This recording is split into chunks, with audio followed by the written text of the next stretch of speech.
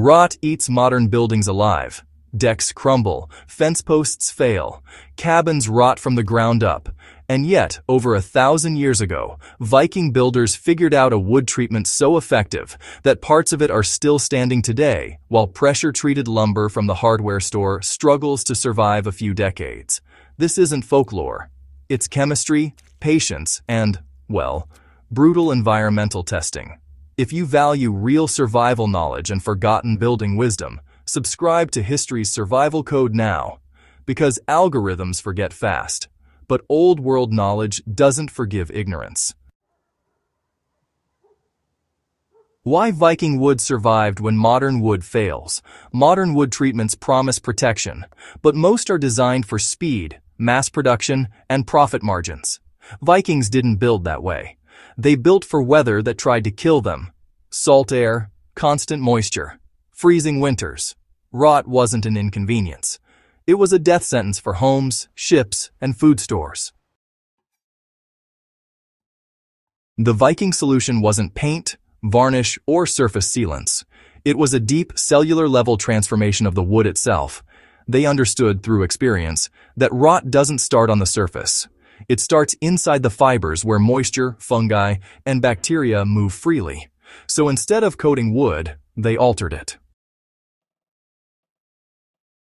Their answer was a rot-proof wood dip made from natural compounds that modern builders quietly abandoned because it takes time, smells bad, and can't be rushed. The Viking wood dip relied on pine tar, ash-derived lye, and, uh, prolonged soaking. Pine tar wasn't decorative. It was harvested slowly by heating pine roots and resin-rich wood in, you know, low-oxygen pits, producing a thick black antiseptic liquid loaded with phenols and acids that fungi really hate. These compounds don't just repel moisture, they poison rot at the microscopic level. Wood was submerged, not brushed, sometimes for weeks, sometimes longer. The goal was saturation. When pine tar penetrates deeply, it replaces water inside the wood's cells, that matters because fungi need moisture to survive. Starve them, and rot never starts.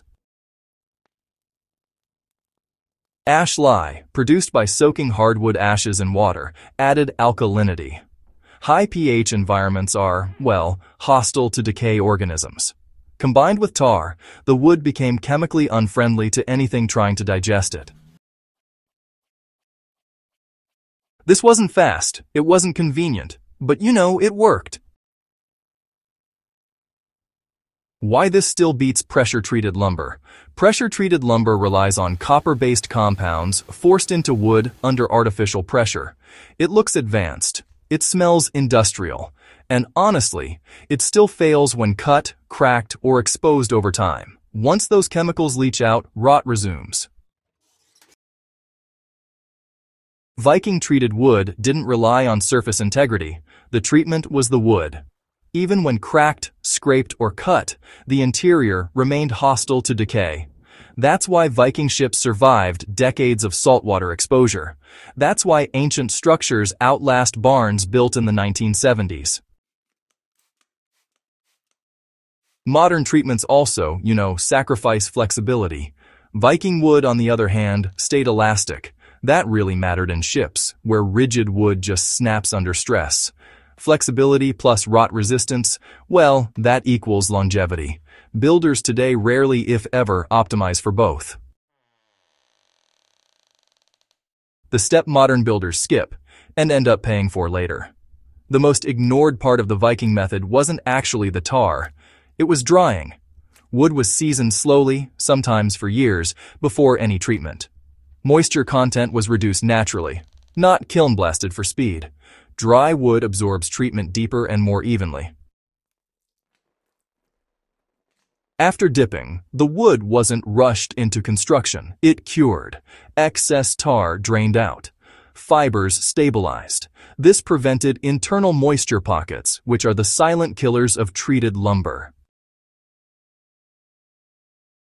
You know, modern construction skips this because, well, time is money. But the Vikings, they skipped nothing because for them, failure meant exposure, hunger, or even death. So, why did this knowledge vanish? Industrialization didn't erase Viking wisdom because it didn't work. No, it erased it because it didn't scale. Pine tar production is slow. Lye preparation is, honestly, messy. Soaking wood takes space and, uh, patience. And none of that really fits into modern supply chains. Builders didn't forget because they were ignorant. They forgot because survival just stopped being the priority. Convenience replaced durability. Replacement, well, it replaced permanence. History's survival code exists to reverse that amnesia. Can this method still be used today? Yes. And well, in some places, it never stopped. Traditional boat builders still use pine tar because, honestly, nothing else performs the same in wet conditions. Heritage restoration projects rely on it because, you know, modern coatings just fail historical stress tests. For ground contact posts, beams, or outdoor structures, pine tar treatments can, you know, really outperform store-bought preservatives when applied correctly, especially when paired with proper drainage and airflow. No miracle coating saves wood buried in wet soil, but Viking-treated wood buys you decades. This method isn't about nostalgia. It's about, well, understanding material behavior. Wood rots because biology attacks moisture. Remove moisture access, alter pH, and introduce antifungal compounds, and rot loses the fight. The survival lesson hiding in plain sight. This isn't just about wood, it's about how humans solve problems when failure isn't abstract. Vikings didn't rely on marketing claims. They relied on storms, winters, and graves to test their methods. You know, modern survival culture often chases gadgets. But well, Vikings chased principles. Treat the material, not the symptom. Slow down to last longer. Build once, not twice. That mindset is why their buildings, ships, and infrastructure echo across centuries while modern structures quietly decay behind fresh paint. Why should builders care right now? Well, climate is getting harsher, and moisture cycles are more extreme than ever before. Materials are thinner, and treatments are, honestly, more diluted.